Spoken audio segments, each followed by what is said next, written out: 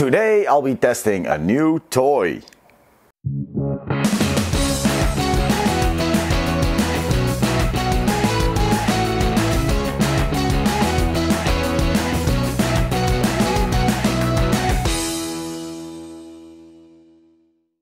Hey everybody, welcome back to Dinner with Dave. Well, a couple of weeks ago my wife came home and she had a small present for me.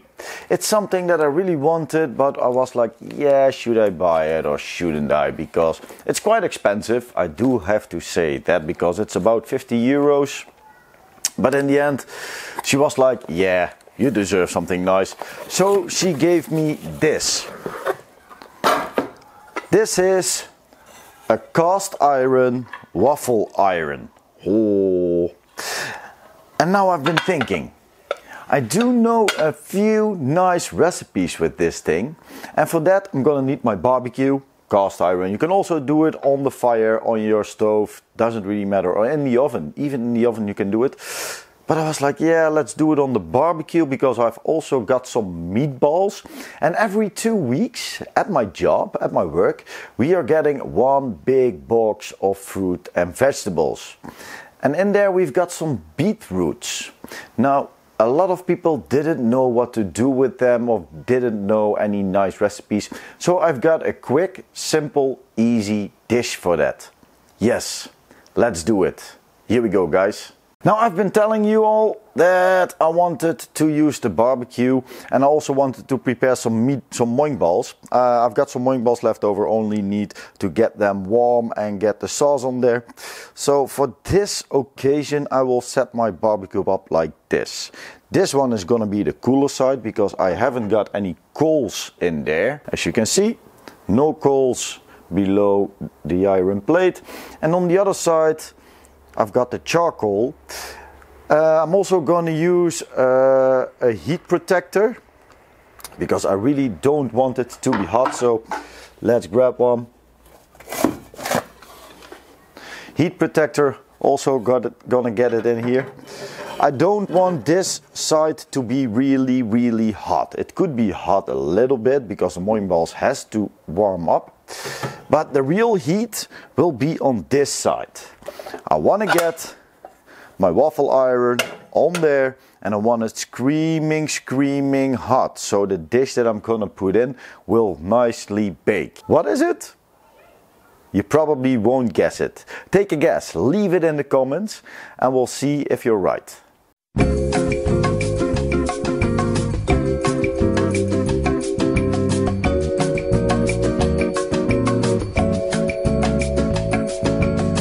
This is the idea. I got myself a waffle iron and I got myself some potato croquettes.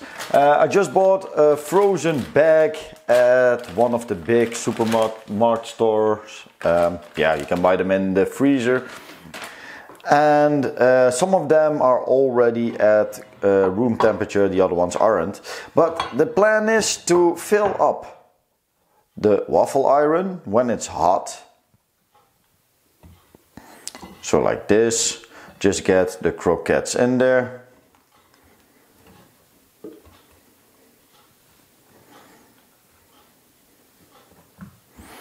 So fill it up. And then we're gonna close it and we will get a nice waffle made of potato. Now, if you're gonna serve this to people, they probably don't know what, what's happening to them because they think, oh, a waffle, and then they taste the potato. So that's the idea. For that, I first need to warm up the barbecue. Uh, while that's happening, I still have some uh, meatballs out of the freezer, some moink balls uh, ready to go. The only thing I need to do is to get some sauce on them. I got blackjack I like that one. And then prepare a salad with beetroots.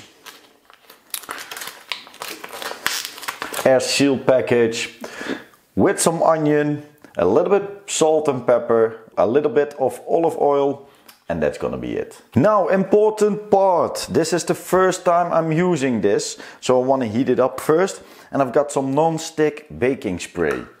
Guys, use it because any everything will stick and your whole waffle will be totally messed up. So just lightly spray it. The heat will cover everything later.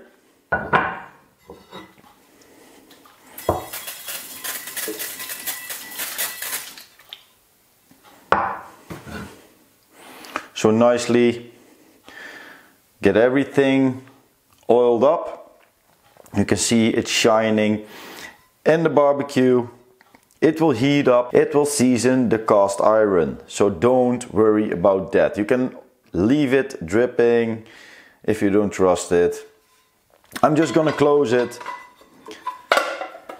place it on the barbecue, and I hope I won't be forgetting my gloves because this will be incredibly hot. Now beetroot salad. For this one I don't want to use my wooden plank, my wooden cutting board.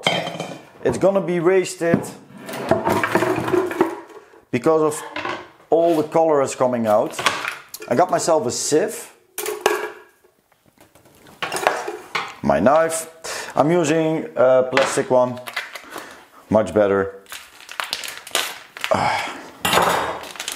opening it up, get it into the sieve and let it leak for a while. These are already softened, so you, you, yeah, you can just cut them and use them. Um, yeah, wash your hands. Make sure everything is safe, nothing will be spilled because sometimes the redness will really mess up your kitchen. Yeah, and I'm experienced with that, believe me. So that's gonna leak. Now, first of all, I'm gonna cut an onion. Uh, you probably won't need a whole onion, so if you use half, it's okay too. We prefer to have the taste of the onion and the taste of the beetroot will also get into the onion. It will get nicely colored. You can try to cut it extra. There we go. Now we've got a little bit of the redness already in. Let the onion absorb it.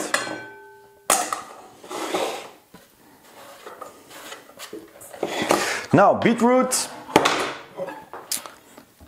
I like all kinds of pieces. So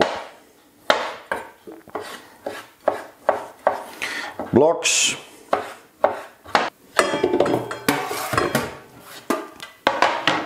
strokes. You can make them as thin as you want. This is almost see-through. Just get all kinds of variations in there. Like an onion. Just chop it up.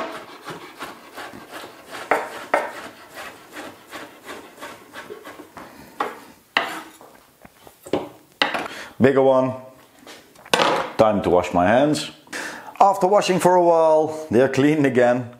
Now, we are gonna add salt. Give it a stir. A little bit more salt.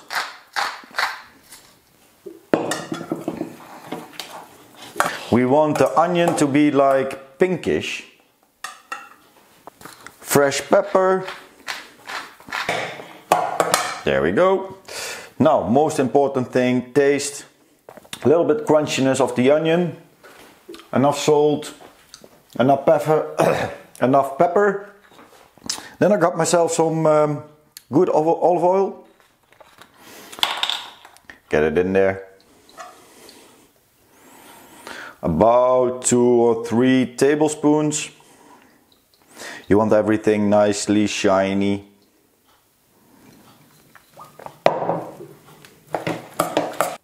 Now have another taste. Mm. Good olive oil, guys.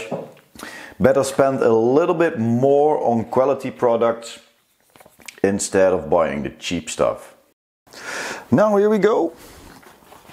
Barbecue at 200 degrees, getting hot. First, I want to start off getting the Moink balls have them here they just slowly need to warm up get them all there It's getting nice and hard. You can do it slowly, so no big deal. Gonna cover everything with the sauce, barbecue sauce on there. Now it's time to get that cast iron off the barbecue.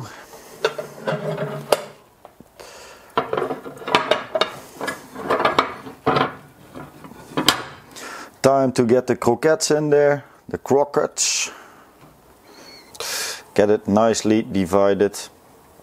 Um, I want to give it a go with 10. I'm not sure what that's gonna do yet because this is also a testing phase for me.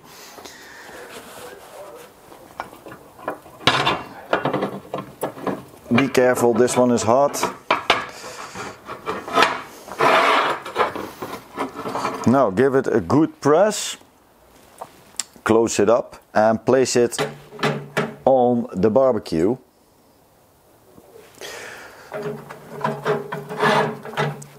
Close the lid and turn it around in a couple of minutes. Now, final one. As you can see, moink balls, really nicely done. And look at this, everybody. Potato waffles, nice crispy. Add them to the rest. Get that upside down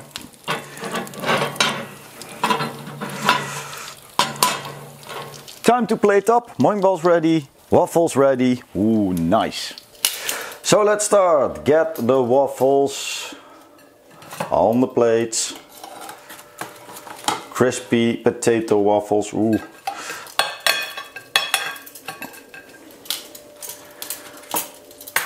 Nice pieces.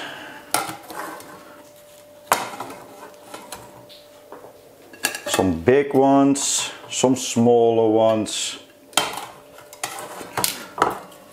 all ready to go. Ready for me to take the moink balls. Moink balls ready to go. Get some moink balls on the plate. Oh.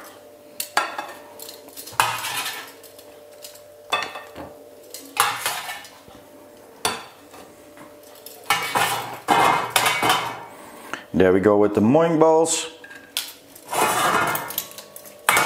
Now, beetroot salad.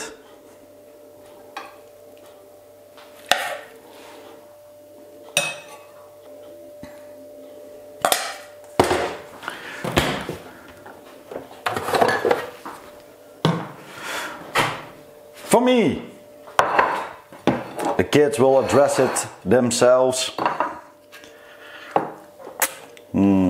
Nice salad. Some mayonnaise.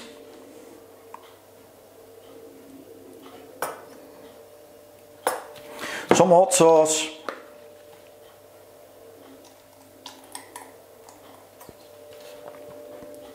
Ladies and gentlemen, with my new toy, the potato waffles.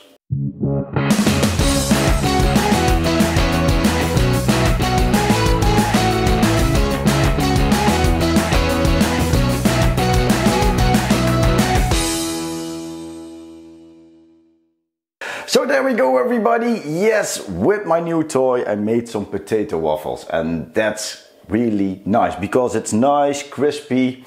Well, let me take a knife. You can hear crispy waffles. That's gonna be delicious. Now this was Dave from Dinner with Dave. Thank you all for watching. Don't forget to like, subscribe, follow me on Facebook, follow me on Instagram and we're gonna see each other next week. Bye bye.